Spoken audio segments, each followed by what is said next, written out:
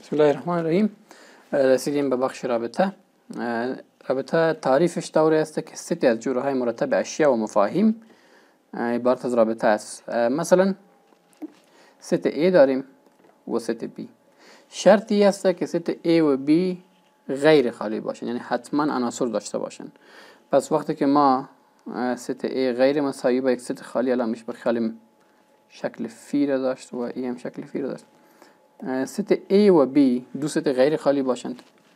و ما A کراس B را پیدا کنیم. هر ست فرعی یه علامه پایینی هم داره. هر ست فرعی A cross B میشه یک رابطه از A در B.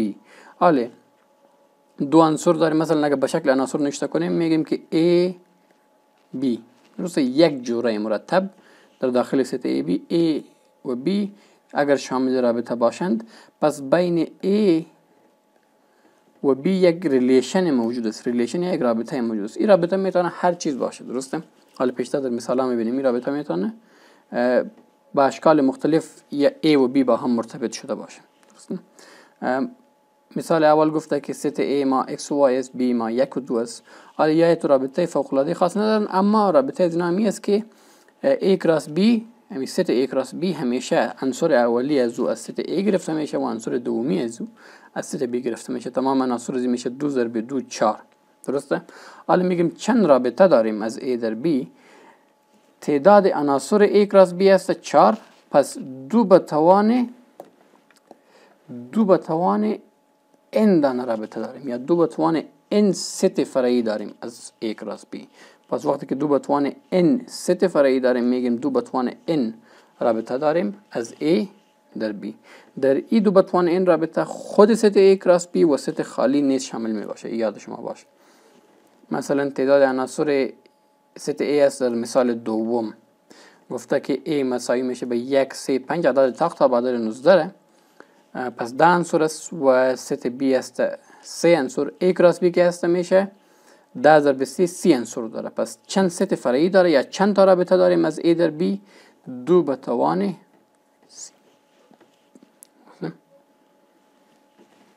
یه به شما گفته که ست خالی و A cross B هم در ست های فرعی شامل می باشد فعالیت شما ببینید الان اینجا مفهوم رابطه را به شما مشخص می‌کنه مثلا ست A داریم. ست A هست یک دو سه و چهار. چهار عنصر داره که اونا هستن. یک دو سه چهار. حالا میگه R یک رابطه است در ست A یعنی تمام عناصر R از ست A گرفته شده. درسته؟ شما میگه در این رابطه جوره های مرتبه ترتیب بدین که X و Y داشته باشه. یعنی X و Y یعنی قیمت های X و Y باید حتما در ست A شامل باشه. درسته؟ R چون R یک رابطه است در ست A طوری که x منفی y مساوی شود با 5 x منفی y مساوی شود با 5 حالا شما در ست A میتونین بگوین که دو عدد به ما میتونین بگوین که در بین می عدد دو عدد با هم دیگه تفریق کنم جواب شو مثبت 5 چون بزرگترین عدد ما 4 است و هیچ دو عدد ما پیدا کردن نمیتونم که این رابطه بالا ای ست کنه و x منفی y مساوی 5 پس ما میگیم که ای آر مساوی میشه به x خالی درسته هیچ رابطه تو وجود نداره یعنی هیچ جوره مرتب ما نمی‌تونم پیدا کنم در ست A که در آن عنصر اولی منفی عنصر دومی مساوی شه با 5 مثال چهارم ببینین همین که همین مثال فقط گفته x منفی y مساوی به دو این دفعه می‌تونین پیدا کنین درسته عناصر R ما هست اینجا R مساوی میشه با عنصر اول من منفی عنصر دو مساوی به دو پس سه و یک می‌تونیم بنویسیم و چهار و دو رو می‌تونیم بنویسیم. مثال این رابطه رابطه بین از اینا علامه آر که بالا داشتیم. امی رابطه آر اینجا به شکل تفریق قرار داره. این هر شکل هر چیزی می‌تونه باشه. حالا آمدیم به ناحیه تعریف و ناحیه قیمت ها درسته؟ پس در رابطه ما همیشه ناحیه تعریف و ناحیه قیمت ها داریم. اگر رابطه هم رابطه اعداد باشه رابطه بین اعداد باشه ناحیه تعریف و ناحیه قیمت ها داریم. ناحیه تعریف ما همیشه یا دومین ما همیشه عنصر اولی جوره های مرتب میشه و ناحیه قیمت های ما همیشه عنصر دومی جوره های مرتب می باشه ناحیه تعریف رابطه R را به domain R نشان میدن و ناحیه قیمت ها را به range R نشان میدن. درسته؟ پس اگر A ست A یک و دو باشه ست B X و Y. و R یک رابطه از A در B باشه یعنی A cross B. پس قیمت های در جوره های مرتب قیمت های اولی از ست A گرفته میشه و قیمت های دومی از ست B. ناحیه تعریف ما domain ما یک و دو و ناحیه range ما X و Y. دومین ما یک و دو. مفاهیم دومین رنج اصلا ما در بحث تابع می‌فهمیم اینجا فقط یک معرفی کرده. پس در رابطه ها ما می‌تونیم که دومین رنج پیدا کنیم. مثال دوم به ما گفته که در ست A که ست A ما مساوی می شود با منفی سه منفی دو یک دو و سه. یک رابطه داریم. چگونه رابطه؟ عناصر این رابطه است x و y. طوری که x مربع مثبت y مربع ما مساوی میشه با 13 حالا ما میگن عناصر ای آر بنویسیم. عناصر آر مساوی میشه با ما باید به شکل جوره های مرتب. طور بنویسیم که جوره مرتب همون x مختصی x مربع یا مختصی y مربع باید مساوی با 13 شود. درسته؟ پس اولین مخت... منفی 3 و چون هر دو مربع هستن کل مربع پس منفی 3 و منفی 2 چون منفی 3 کل مربع 9 منفی 2 کل مربع 4 و دو رو با هم جمع کنیم میشه 13 همه تو می‌تونیم بنویسیم منفی 3 و مثبت 2 درسته؟ باز می‌توانیم بنویسیم که مثبت سه و منفی دو. درسته؟ همه تو باز می‌تونیم دو را پیش بریم سه را پس ببریم. هیچ فرق نمی‌کنه. پس در کتاب تمام رابطه ها تمام جوره های مرتب که بالای می رابطه صدق می‌کنه اونا رو نوشته کردم میگه دومین ما یا ناحیه قیمت های ما ناحیه تعریف ما. اینجا و رنجم اینجا یعنی دو و سه اینجا در سوال دو و میتونیم با هم دیگه تغییر بدیم رسیدیم به معکوس یک رابطه معکوس یک رابطه که جاهای x و یا جاهای مختصات جای مختصات جوره های مرتب تغییر بخوره پس رو میگیم وقتی که جای مختصات تغییر خورد واضحه پس که دومین که اول داشتیم تبدیل میشه به رنج و رنج که داشتیم و تبدیل میشه به دومین اینجا بحث با شما۔ مشخص کرده یک بحثی داریم به نام رابطه معادل که نسبتا مهمتر است. ما رابطه را معادل میگیم که در آن سه خاصیت باشه. رابطه خاصیت انعکاسی تناظری و انتقالی. حالی سه خاصیت چی هستن من این کوشش می‌کنم به شما در یک ست نشان بدم. مثلا ست A داریم. ست A فکر کنین سه عنصر داره. یک دو و سه. درسته؟ من یک رابطه است در A همون تو رابطه که قبلا جور می‌کردیم رابطه است در A که در آن جوره های مرتب X و Y داریم طوری که X جمع Y بزرگتر باشه فکر کنین از دو بزرگتر مساوی باشد به دو درسته تمام عناصر تمام جوره های مرتب که در ست از عناصر ست A ترتیب شوه و در آن X جمع Y بزرگتر شوه. از کدام کدام نوع جوره های مرتب کدام جوره های مرتب در می‌تونه شامل باشه؟ به نظر شما؟ میگیم که یک و یک می‌تونه شامل باشه. درسته؟ یک و دو می‌تونه شامل باشه. یک و یک یا بزرگتر یا مساوی است به دو. درسته؟ یک و سه می‌تونه شامل باشه. به همین شکل دو یک.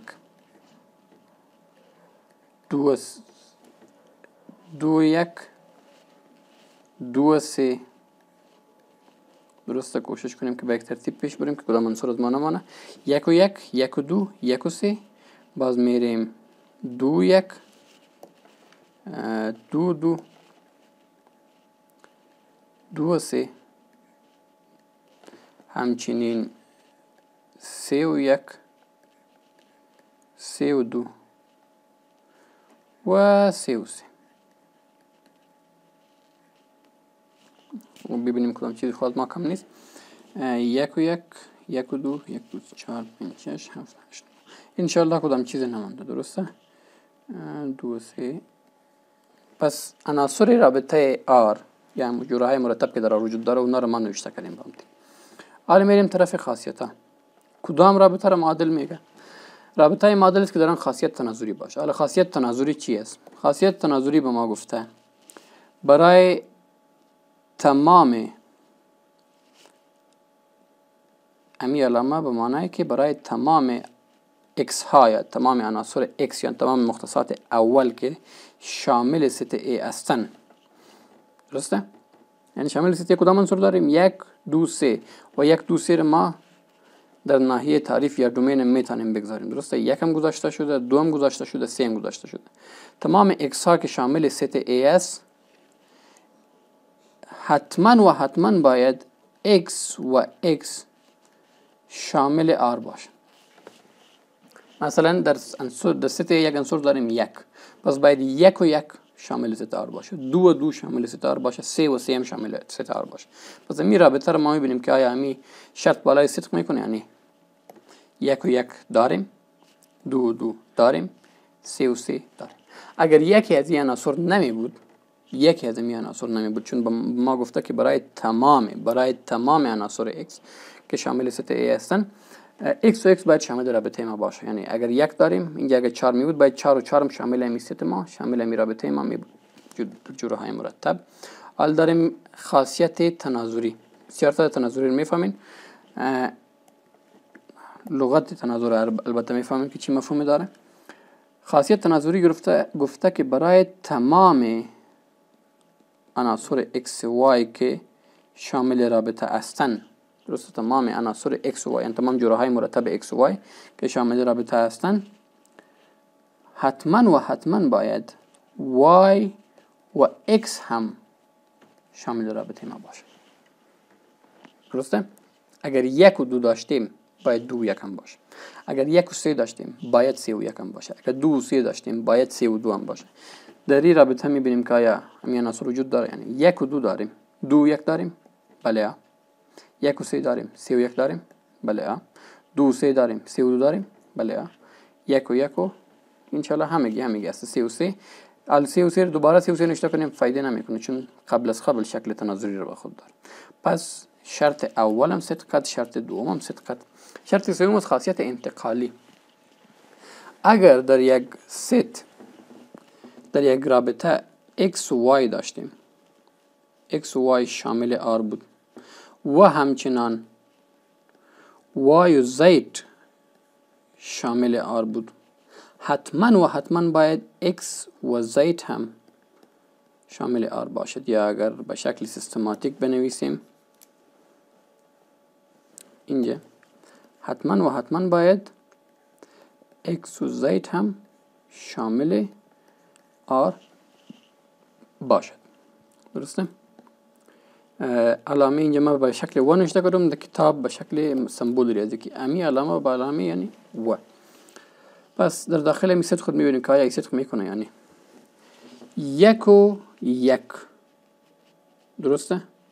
شامل ست ما هستن باز یک و دو شامل ست ما هستن درسته باید در این ست درسته یک و دو بازم داریم خو در این جوره های مرتب درست صدق نمی‌کنه هر دو رو می‌بینیم یک و دو یک و دو داریم یعنی a می‌گیریم یک b می‌گیریم دو یا x می‌گیریم یک y می‌گیریم دو پس دو و سه هم داریم